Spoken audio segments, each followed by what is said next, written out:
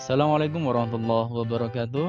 Hi my student, welcome back to my channel English Learning Material for Junior High School Grade 7. Chapter 2 This is me. Bab kedua ini adalah saya. Materi pembelajaran pada bab ini peserta didik belajar melakukan komunikasi lisan dan tulis untuk mengkomunikasikan jati dirinya dengan pendek dan sederhana termasuk nama, asal, alamat, kesenangan, dan anggota keluarganya. Kemampuan ini dapat meningkatkan kecerdasan sosial peserta didik, terutama menjadi lebih mengenal diri dan keluarganya. Saling mengenal satu dengan lainnya bukan hanya tahu nama, serta meningkatkan rasa percaya diri dan perhatian kepada orang lain.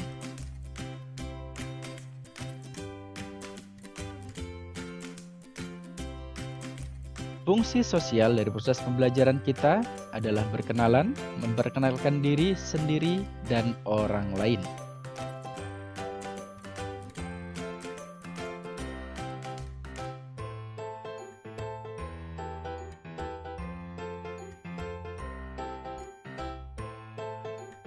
We will learn, share, and inquire about each other including our identities, our hobbies, and what we like, the members of our family. Jadi kita akan belajar saling berbagi satu dengan yang lainnya dalam hal identitas kita, kesukaan kita, apa yang disukai, lalu kemudian anggota dari keluarga kita masing-masing.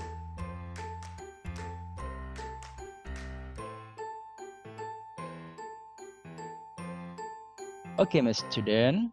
Now we will learn to tell other people about our names, our origins, and our home address. Kita akan belajar untuk mengatakan kepada orang lain tentang nama, suku, dan alamat rumahnya. Hello, my name is Hasnida. I am from West Sumatra. I live in Padang in Kampung Mutiara on Jalan Kemangi to be precise. I like at 23 Jalan Kemangi.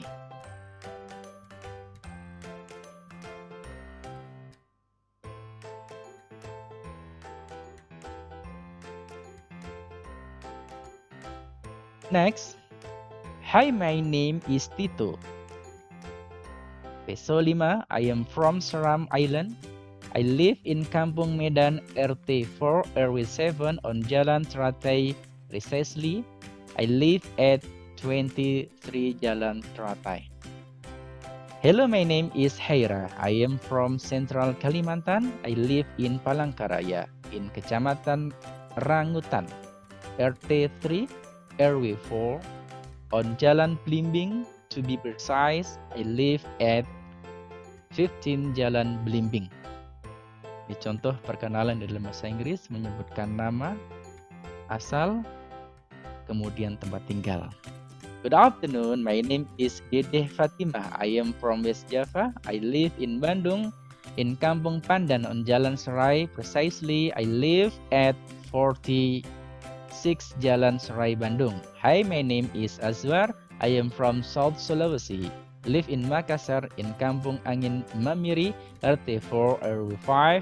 I live on Jalan Buntu. To be precise, I live at 10 Jalan Buntu Makassar.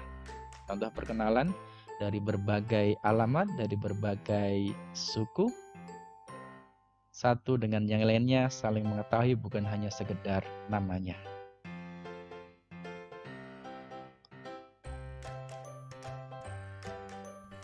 Student, we will present, not read, the facts about each person to each other orally. Kita akan mempresentasikan diri, bukan membaca, kenyataan tentang masing-masing orang kepada orang lain secara lisan. Masing-masing silahkan memperkatakan diri berdasarkan contoh biodata yang ada di bawah ini.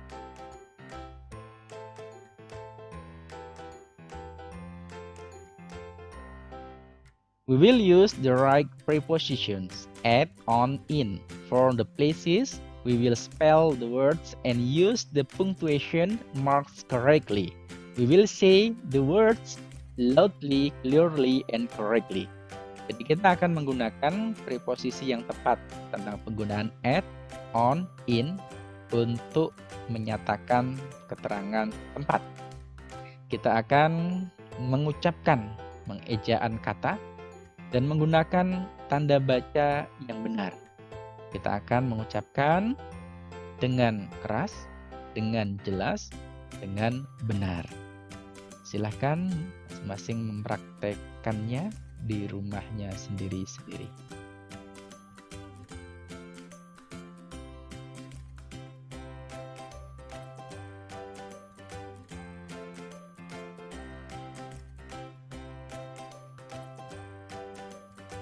Student, this is the formula of using preposition in, on, at, time, and location. Jadi penggunaan in untuk skala yang lebih besar, waktu adalah untuk abad, centuries, decades, years, months, and week. Itu untuk waktu. Dia secara umum lebih besar dari yang lain. Untuk location, dia penggunaan in dipakai untuk country, city, neighborhood. Ya. Kemudian penggunaan on for days and weekend. Ya. On Saturday, on Monday, dan lain sebagainya. Dan uh, dia lebih kecil ya, more specific on smaller, on street, on avenue. Ya. Lalu kemudian at very specific smells. Jadi dia lebih uh, kecil lagi dibandingkan in dan on. Contohnya live at ya, let's me at 12 o'clock. Itu penggunaan in ya, on and at. Silakan disimak dialog berikut ini. Saling menanyakan dan menjawab pertanyaan. We will ask and answer questions about our names, origins, and home addresses. What's your name? My name is Hasnida. Where are you from? I am from West Sumatra. Where do you live? I live in Padang in Kampung Mutiara on Jalan Kemangi. To be precise, I live at 23 Jalan Kemangi. Next, And you, what's your name? I am Max Max Bayi. Where are you from? I am from East Nusa Tenggara. Where do you live? I live in Kupang, in Kecamatan Angkasa on Jalan Denpasar. Precisely, I live at 5 Jalan Denpasar. Dari hanya jawab identitas ini, kita bisa mengenal lebih jauh orang yang dianggap. Let's say every letter loudly, clearly, and correctly. Listen the song, please. It's the alphabet song. A B C D E F G H I J K L M N O P Q R S T U V W X Y and Z. Now I know my ABCs, 26 letters from A to Z.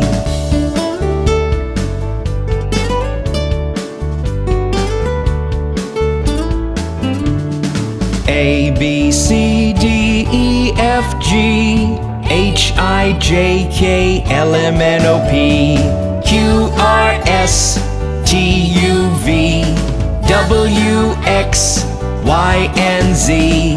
Now I know my ABCs, 26 letters from A to Z.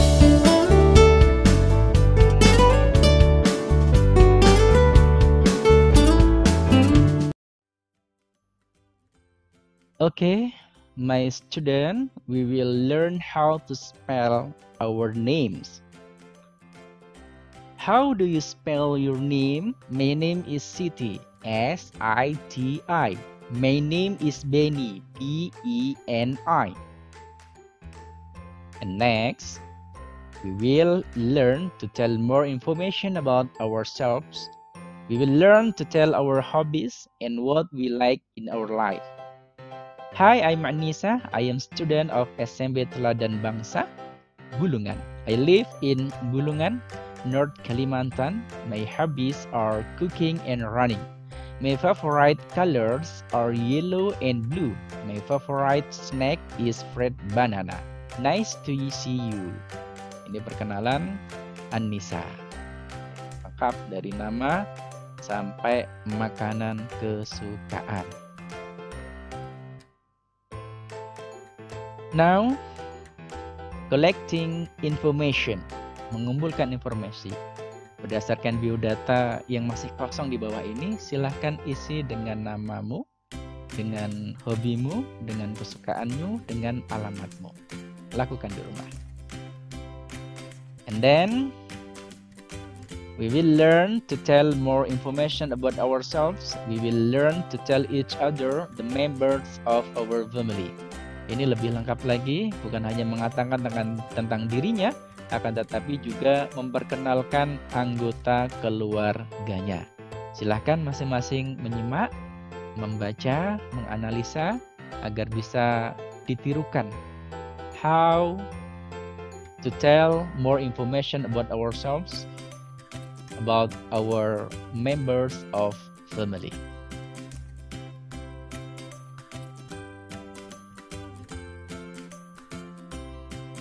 Student, next we will be associating. Kita akan mengasosiasikan. Ini ada tabel ya tentang biodata baik diri ya tempat tinggal eh, anggota keluarga ya nama anggota keluarga kesukaan dan lain sebagainya silahkan isi dengan biodata masing-masing peserta didik. Lakukan di rumah. Student, thank you for watching my video. Please like and subscribe. See you next time. Insyaallah kita akan diketemukan oleh Allah dalam keadaan yang lebih baik. Penuh semangat dan terus belajar lebih giat agar menjadi manusia yang bermanfaat. Thank you. Assalamualaikum warahmatullahi wabarakatuh.